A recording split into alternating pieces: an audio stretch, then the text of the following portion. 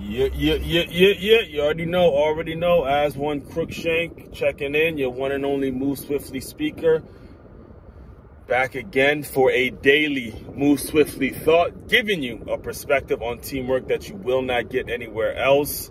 And today, I gotta tell you, I gotta go back to a client of mine I had. His name was, this is back when I was, so my first job out of college I was a scout for a company named National Scouting Report, and I had clients that were high school athletes. Basically, the, the clients were the families of the high school athletes and things like that. And one of the people I signed up, his name was Travis Harrison. Travis Harrison, who he had his dad. His dad was an entrepreneur. His dad was his own, basically his own boss. He ran a company named Roof. I think it was Harrison's Roofing Company or something like that. And it, it, it was interesting getting to know him because as, as, myself, as my father too, who's basically works for himself and the people I deal with, kind of the, my business, my brand, a lot of the stuff that I do, I've been influenced by a lot of independent business owners. And Wayne, uh, his name, his dad's name was Wayne, and it was like Harrison Roofing or something like that, right? So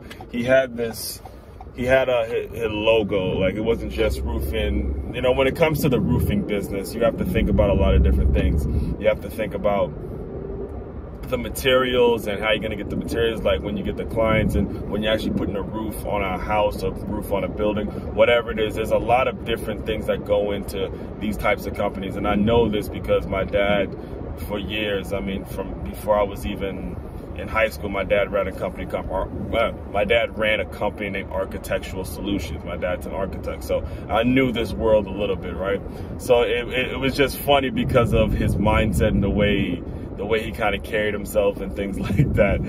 I remember I, I, I, saw him at a game. I was at a game and I would be filming Travis, his son, because I was the I was the scout that recruited him and stuff like that. And I remember telling him one time, I'm like, yo, you know, I saw one of your trucks on the road actually. And his first question, the first thing he said was oh, was he speeding? He wasn't speeding, was he? and I'm like, no, nah, I don't, I don't think so. It was actually, you know, the red light. And he's like, okay, I can't get in trouble because, you know, this, that, you know. And, and I, I tell you guys all that because as, as he is the business owner, think about his first question. Think about where his mindset was.